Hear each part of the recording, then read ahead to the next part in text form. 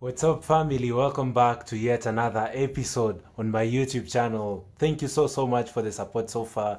Thank you for the love, and um, let's roll into today's story. Uh, do you all know President Evariste Ndayishimiye, one of the most low-key presidents in Africa? I know most of you even do not know him. President Evariste is the president of the Democratic of Burundi of the Republic of Burundi. Do you know the Do you know Burundi, the country? Um, Ndayishimiye is the president of Burundi, and um, he's been hitting the headlines in the recent uh, weeks um, since um, President uh, Evariste uh, say that Burundi does not support LGBTQ. Burundi does not um, support same-sex marriages, and um, he's been so vocal on this issue. And he says that even it it means that uh, he won't be getting the aids from the West, grants from the West, financial support from the West. Um, he does not care if it means um, supporting LGBTQ. He'd rather lose all those things that I have mentioned. And um, the president has been so so vocal on this issue. Sometime back, he also said that um, the gay people in Burundi should be jailed. At some point, he said that they should be directed into a stadium and um, people um, should um, hit them with stones.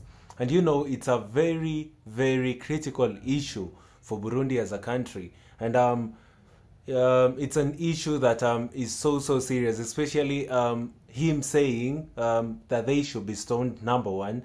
And number two, um, the president mentioning that um, he does not want support from the West if it means supporting LGBTQ. And um, we've seen countries like Uganda um, that have come um, straight on these issues and passed into law that Uganda is an anti LGBTQ country. And um, they came about with laws and passed it on their parliament.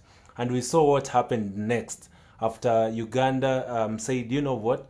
We do not support LGBTQ. We all saw what happened, the aftermath of their decision we saw um, President Museveni being uh, getting um, economic sanctions from the U.S. They told them um, we won't be supporting you anymore since uh, you're going against human rights. And um, President Museveni insisted and said that um, the morals of Africans and our culture does not allow us to support all this stuff. And he said he'd rather stay without the um, loans and grants aids from the West, and um, he stood to his position. Right now, we see um, President Ndayishimiye from uh, Burundi saying that he does not support that, and he'd rather not get support from the West. And you know um, the aftermath of um, such.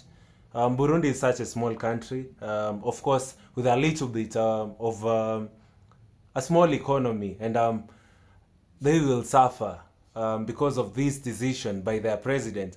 I'm not saying that I'm not supporting um, Burundi's president. You know, he's made a nice decision. He said that I do not.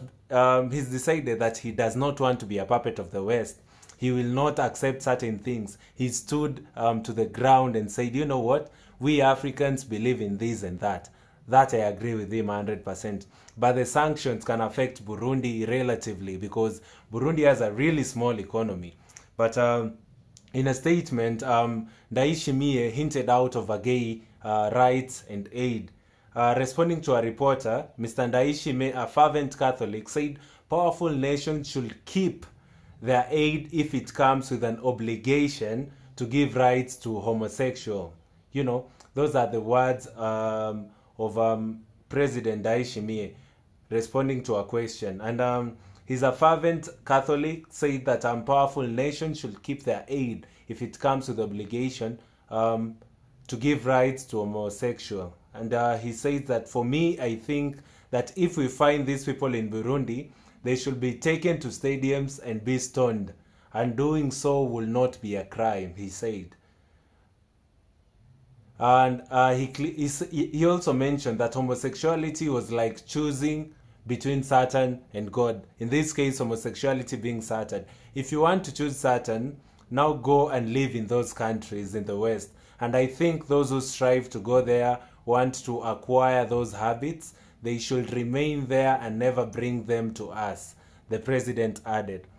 Um, there was a time that um, President Uhuru Kenyatta, the former Kenyan president, was cornered and asked about these same um, questions by a BBC reporter, and he went silent. And um, what he said is that um, they have a lot of issues affecting Kenyans, including economical constraints.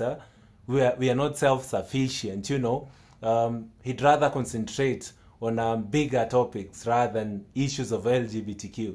You see, um, President Uhuru Kenyatta was clever in a way because, at, at, okay, he did not say that he did not want the AIDS because um, many African countries are third world and um, in a way they depend on the same. So he was so clever until um, the then president of the United States came to Kenya and um, he cornered President Kenyatta. We are talking about um, Obama. He cornered President Kenyatta into passing into law that gives him to be allowed in Kenya. That's the only time that um, President um, Uhuru Kenyatta went hard and said that um, we have our cultures and laws that we have to follow our own way. We do not have to follow um, stuff from the West. That's the only time he came clear. I, I, I really wish that um, the president of Burundi would have stayed low key, saying he does not support it um, for now until he was cornered to that extent, you know. But um, I do respect his decision because we have our own cultures, you know, our morals as Africans. And um, we've seen these with the president of Ghana.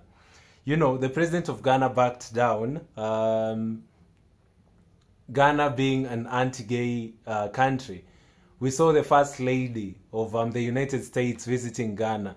And um, he, the president of Ghana, Nana Akufo-Addo, mentioned to the first lady that, um, you know, it's in the court and um, they'll try and um, favor people, you know, issues with the human rights. And um, people are saying that Nana Akufo-Addo is a real puppet in a way because he's looking as at his interests and um, the interest of the country.